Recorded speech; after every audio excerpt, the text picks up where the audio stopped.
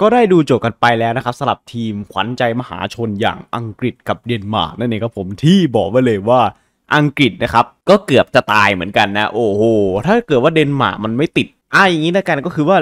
รูปเกมในวันนี้นะครับ อังกฤษเนี่ย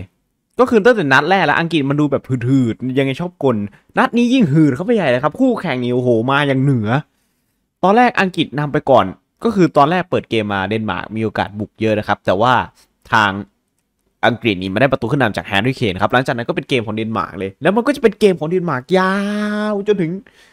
ช่วงมันจะมีบางช่วงที่เป็นเกมของอังกฤษแต่ว่าช่วงส่วนใหญ่มันจะเป็นเกมของเดนมาร์กเลยครับโดยเฉพาะช่วงท้ายนี่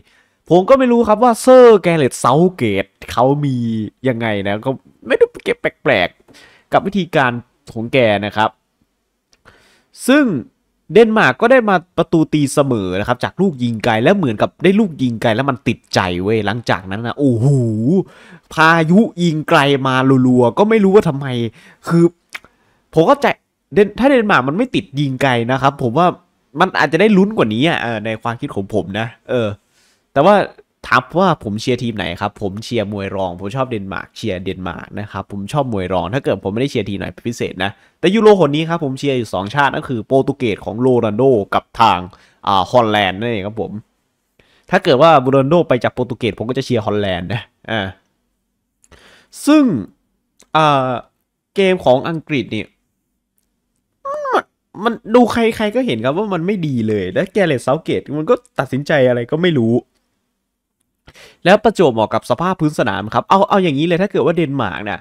พูดผมดูเห็นเดนมาร์กครับทักษะเฉพาะตัวนี่ของเดนมาร์กนี่มันไม่ได้เหนือกว่าอังกฤษเลยครับ มันเด่นที่แบบ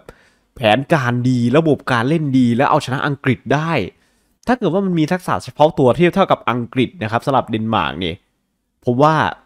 อังกฤษมีสิทธิ์โดนหลายลูกอยู่เหมือนกันนะครับคนก็จะตายแหล่ไม่ตายแหล่อยู่แล้ว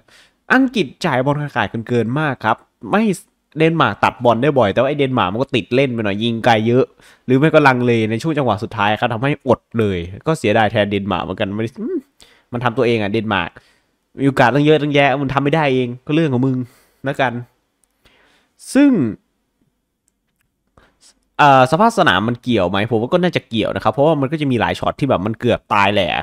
นักฟุตบอลก็ลื่นล้มเจ็บก็มีเอออะไรประมาณนี้นะครับ ซึ่งสิ่งที่ผม รู้สึกแปลกๆกับแกเร็ธ เซาธ์เกตก็คือเปลี่ยน 3กองหน้าออกเลยเว้ยทั้งโฟเดนแฮร์รี่เคนซาก้าอัลโบเวนเอเซแล้วก็อะไรวะวัดกินลงมาหวือหวาอยู่สักพักหนึ่งไม่ถึง 5 นาทีเรียบร้อย หลังจากนั้นเงียบหายไปเลยไม่รู้มันหามันไปอยู่ไหนมา ซึ่งทางถ้าเป็นผมนะครับ ผมจะไม่เปลี่ยนพร้อมกัน 3 ตัวบนอย่างนั้นเลยนะ อย่างมากผมจะเปลี่ยนแค่ 2 ตัว ผมจะเก็บไว้ 1 ตัว ถ้าเป็นอาให้ผมเลือกเลยนะ ผมจะเอาเคนอะออก แล้วก็เปลี่ยนเอาตัวอื่นอะออก ถ้าเป็นผมนะ ผมจะเอาเคนออก แล้วผมก็จะเอาแบบอ่าไม่เคนก็โฟเดนอะเอาไปทั้งสองตัวเลยก็ได้นะครับ ก็คือแล้วผมจะเก็บซาก้าไว้เปลี่ยน 2 ตัวอย่างมาก แต่นี่มันเปลี่ยน 3 ตัวเลยเว้ย ผมก็งงดิครับ ฮะ อะไรของมึง มึงคิดอะไรเนี่ย แปลกๆ และแผนการนี่โอ้โหรั่วมากอังกฤษไม่รู้วันนี้มันมาแบบผิดฟอร์ม รู้สึกติดใจเบียร์เยอรมันหรือเปล่าไม่รู้ครับ ผิดฟอร์มชิบหาย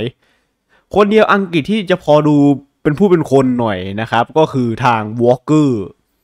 ที่พอจะดูดีมีชาติตระกูลขึ้นมาหน่อยส่วนตัวอื่นๆนี่ก็เออ นั่นแหละ ตามที่เห็นนะครับ ส่วนเดนมาร์กมันก็ตัว ถ้าตัวมันก็ไม่ได้เหนือกว่าอังกฤษและแถมมันยังติดเล่นอีกนะครับ ติดดีอย่างเดียวแค่คือระบบมันดีกว่าอังกฤษมันมาแบบบีบสูงอย่างนี้อะถ้าเกิดเดนมาร์กมันไม่ติดยิงไกลเยอะไปหน่อยนะครับผมว่ามีสิทธิ์ที่จะชนะได้เลยนะครับ วันนี้ ซึ่งอังกฤษถ้าครับ ถ้าเกิดมันเล่นฟอร์มอย่างนี้เนี่ยผมบอกไว้เลยว่า เออเจอทีมใหญ่นะครับ เจอเยอรมันอย่างเงี้ยผมว่าเน่าแน่นอนครับโดนยิงไป 5-0 ไม่ต่ำกว่าสกอตแลนด์ตามประเทศเพื่อนบ้านไปเลย นั่นเอง ซึ่งอ่า man of the match ของทางเดนมาร์กครับ ก็คงจะเป็นพี่ฮอยเบียร์ของเรานะ ส่วนทางอังกฤษ man of the matchวอลเกอร์นะตัวอื่นมันก็ไม่ได้ดูเดย์แต่วอลเกอร์มันก็ไม่ได้ดูดีเด่อะไรขนาดนั้นนะครับ ดูทรงถ้าทีมชาติอังกฤษมันยังรักษาฟอร์ม เว้นแต่เว้นแต่เว้นแต่มันจะพกดวงแบบเต็มพิกัดมาแบบเล่นแย่แค่ไหนมันก็ชนะอย่างนี้อะเออ ถ้าเป็นอย่างนั้นนะครับผมว่าอังกฤษก็จะมีสิทธิ์ไปถึงแชมป์ได้แต่ถ้าเกิดว่ามันเล่นแย่และสภาพเป็นอย่างนี้นะผมว่าไม่น่ารอดครับอังกฤษเพื่อเผลออาจจะจอดป้ายประมาณรอบ 16 ทีมสุดท้ายอะครับมันคงไม่มีปัญหาอะไรสำหรับอังกฤษที่เข้ารอบถัดไป แต่ว่า 16 ทีมนี้รอบ 16 ทีมสุดท้ายก็อาจจะไม่รอดแล้วนะครับสำหรับอังกฤษก็รอชมครับ